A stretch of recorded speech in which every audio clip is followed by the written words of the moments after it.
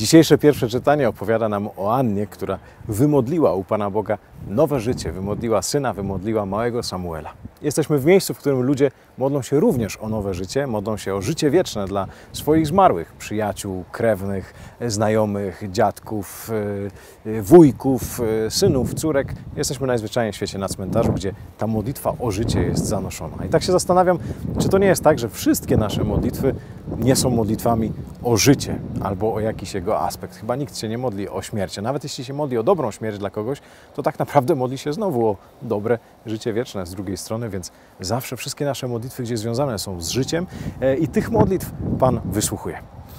Wspominałem Państwu kilkakrotnie, że w czasie tych e, naszych wędrówek e, robię małe wywiady z dziećmi i my, pytam się, co to tam u nich słychać w ich świecie, jak świat wygląda ich oczyma. Te wywiady przeprowadzam z, z pomocą mojej siostry i mojej bratowej, która pyta się e, różnych dzieci biegających po podwórku. I zapytaliśmy również też o to, jak się modlić.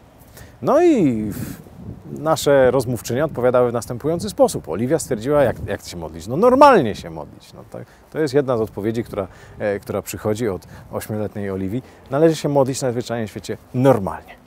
Lena, lat 5, twierdzi, że wystarczy zrobić znak krzyża i też coś w tym jest. E, potem e, chyba jedna z najciekawszych odpowiedzi przychodzi od pięcioletniej Marty, która twierdzi, że e, składa się rączki i się wszystko mówi. I tak się zastanawiam, czy to nie jest najpiękniejsza definicja modlitwy, że no może te rączki mogą być złożone, mogą, nie, nie muszą być złożone, ale najzwyczajniej w świecie wszystko się mówi. Wszystko się mówi. E, I tak jak ta Anna w tym dzisiejszym pierwszym czytaniu, chociaż nie widzieliśmy jej modlącej się, bo liturgia obcina trochę te, to czytanie, żeby nie było za długie, tylko pokazuje nam efekt tej modlitwy, to znaczy małego e, Samuela, który już się rodzi, który jest ofiarowany w świątyni. E, Anna opowiedziała Panu Bogu wszystko. Złożyła rączki prawdopodobnie, a może nie, i wszystko mówiła. I być może te ostatnie dni Adwentu są takim zaproszeniem e, do refleksji nie tylko nad życiem, nad tym, które przychodzi, nad tym, które przechodzi, nad tym, które przemija, bo, e, bo i Adwent do tego służy, bo mówimy nie tylko o tym przyjściu Pana w czasie e, tutaj, kiedy przyszedł pierwszy raz, ale mówiliśmy przecież o tym, że On przyjdzie kiedyś, aby nas wszystkich zabrać.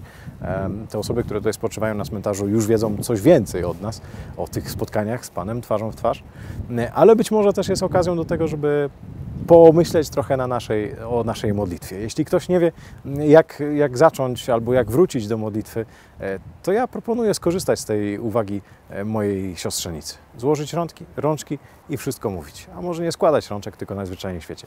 Wszystko mówić. telling